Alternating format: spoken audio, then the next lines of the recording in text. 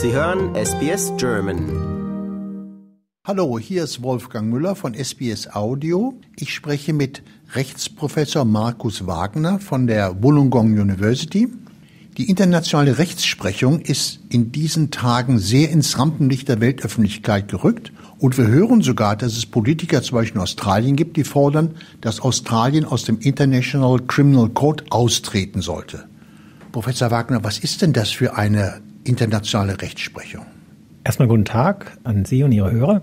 Also es gibt äh, zwei Sachen, die man unterscheiden sollte derzeit. Es gibt auf der einen Seite den Internationalen Gerichtshof, der löst zwischenstaatliche Streitfälle.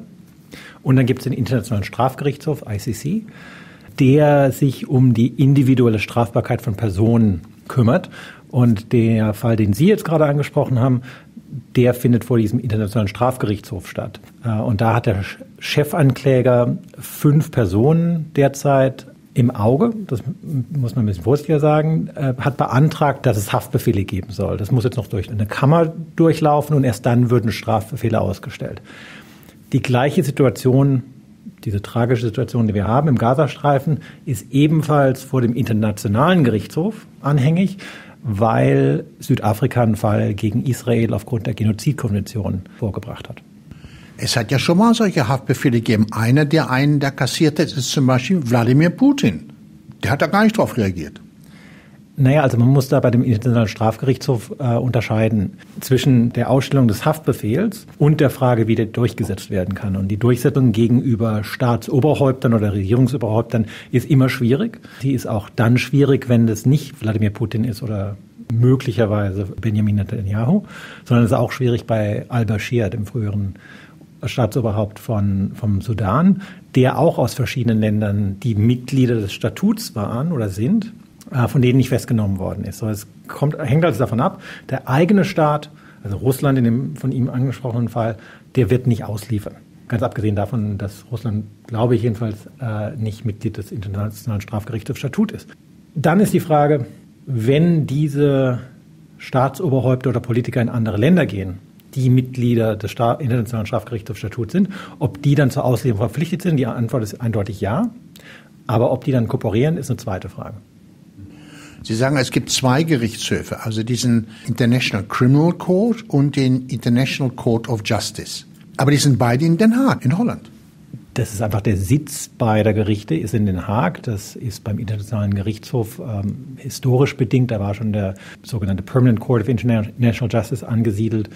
Und als die Vertragsstaaten oder damals noch nicht Vertragsstaaten äh, sich eben überlegt haben, wo würde man den Internationalen Strafgerichtshof, den ICC, platzieren, da hat eben die niederländische Regierung wieder ein gutes Angebot in Anführungszeichen gemacht im Sinne von Gebäude und insgesamt die Ausstattung.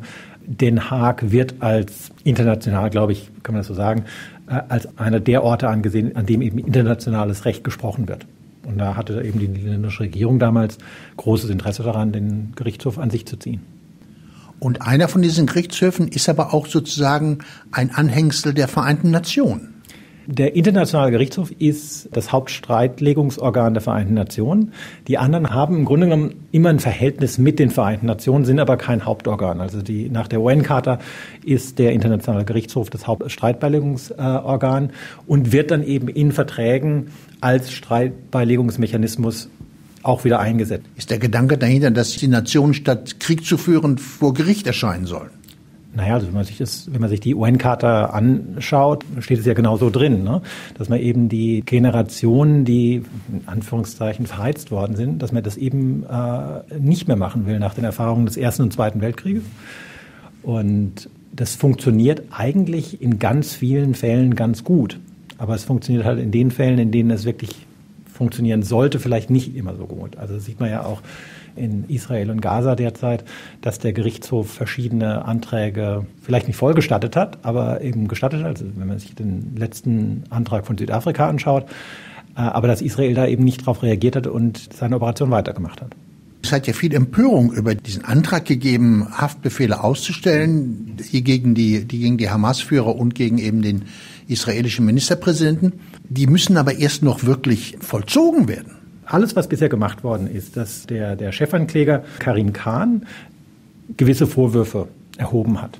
Und das hat er ja nicht gemacht von einer Sekunde auf die anderen, sondern diese Situation ist über Monate beobachtet worden, bevor konkret diese fünf äh, Haftbefehle beantragt worden sind. Sind ja noch nicht gestattet worden, sondern die müssen beantragt werden.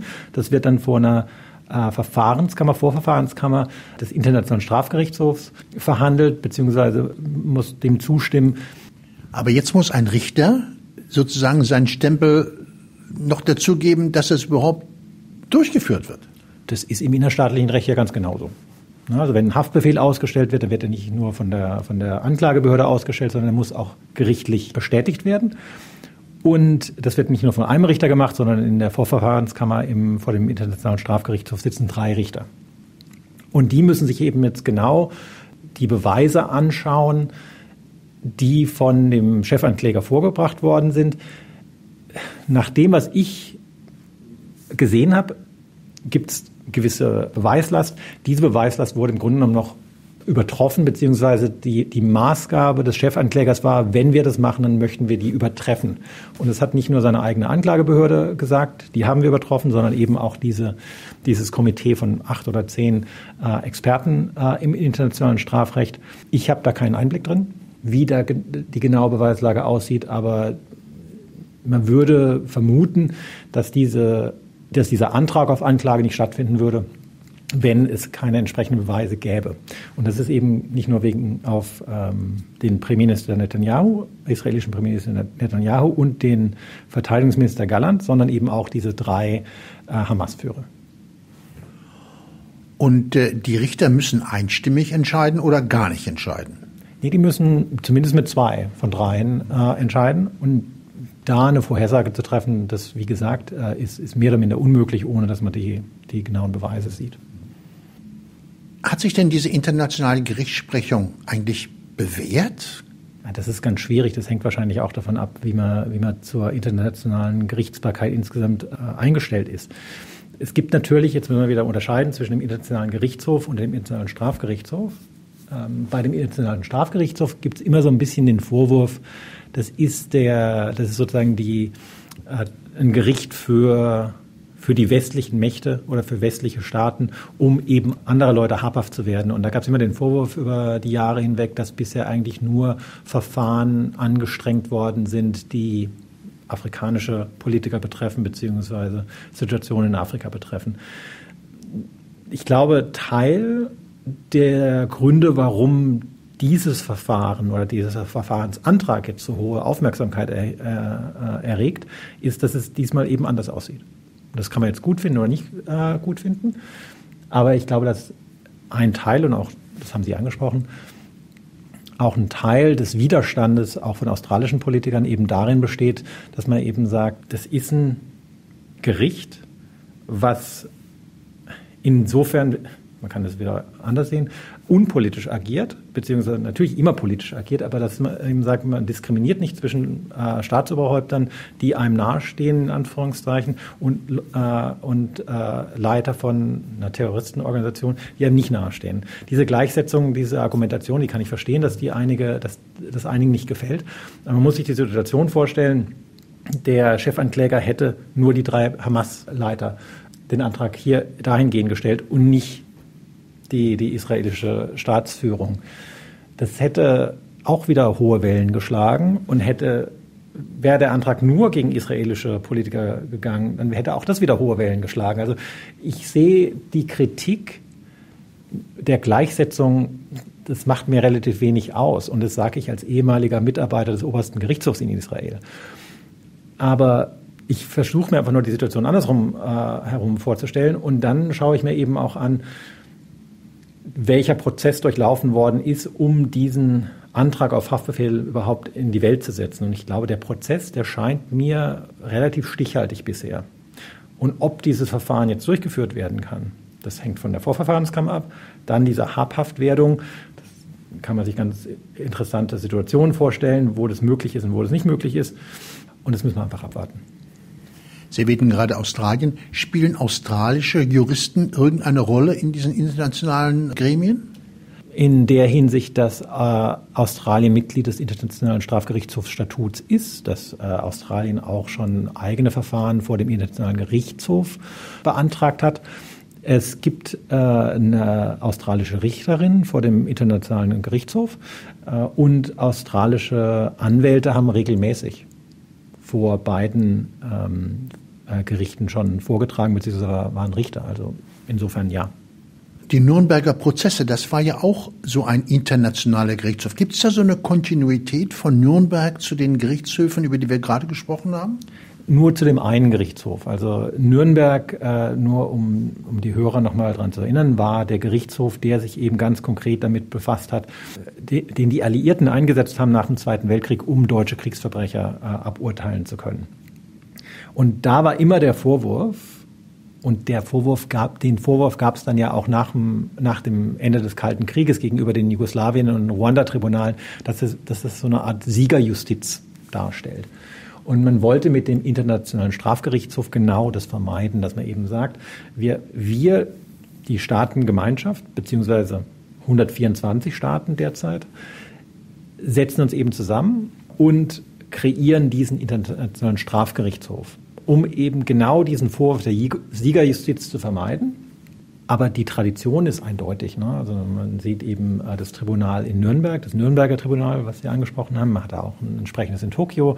Dann gab es verschiedene Ad-Hoc-Tribunale in, in verschiedener Art. Also Jugoslawien haben wir angesprochen, Ruanda hatten wir angesprochen, es gab was ganz Ähnliches in Kambodscha, äh, in Sierra Leone und ander, andernorts.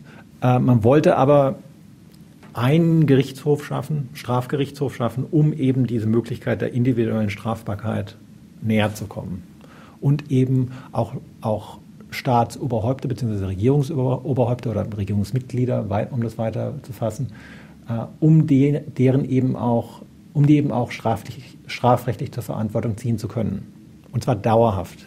Nicht nur, wir haben hier jetzt eine Situation, der, der Sicherheitsrat der Vereinten Nationen sagt, das ist jetzt ganz äh, ungeheuerlich gewesen und deswegen setzen wir jetzt wieder ein Ad-Hoc-Tribunal ein, sondern man sagt eben, man wollte das ein permanentes Gericht äh, schaffen.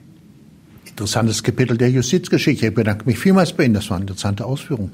Vielen Dank. Lust auf weitere Interviews und Geschichten? Uns gibt's auf allen großen Podcast-Plattformen wie Apple, Google und Spotify.